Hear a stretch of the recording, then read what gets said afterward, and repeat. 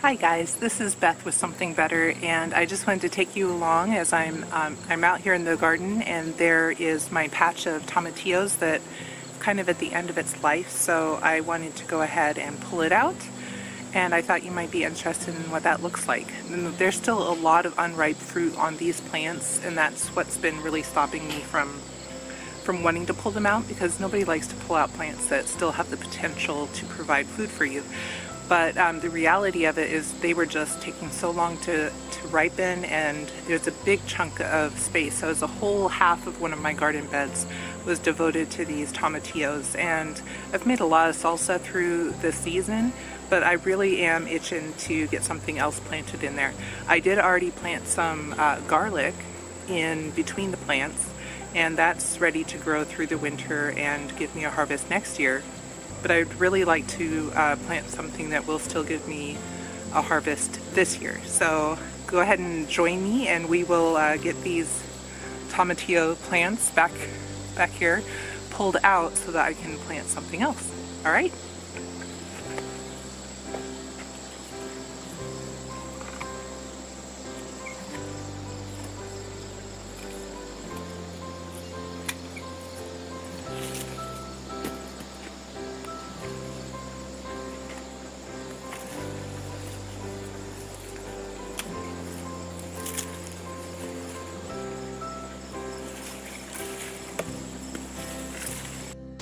Okay, so my battery totally died on me while I was in the middle of taking out these tomatillo plants. So here's all of the plants and you can see all the unripe fruit still hanging on them. I've got them propped up against this chair over in my garden sitting area and I'm going to let them go ahead and just kind of wilt and see if any more of these fruits uh, get get ripe. If they do, they do. If they don't, they don't. But the point was getting all these plants out of the bed. So we'll go check out the bed now. I pulled them all out. Why? Well, because they were done growing. What happened to that? What happened to what? That thing. That's a robot thing. It's not a robot thing. It's actually, I know you play with it as a robot, but it's actually my camera's tripod. Oh. Yeah. It's actually right now doing what it was meant to do and not being a robot. Am I blowing your mind? Okay, so here is the um, tomatillo bed. As you can see, it took up a whole half of this back garden bed. And um, this here is just a, a sucker from one of my tomato plants that came off. I thought I would just kind of stick it in the corner here and it seems to be doing okay. We'll see if it actually does anything. But here, each of these blue markers is where I planted some garlic. So as you can see, there's still lots of room here for me to put other things. Um, I'm thinking lettuce or chard.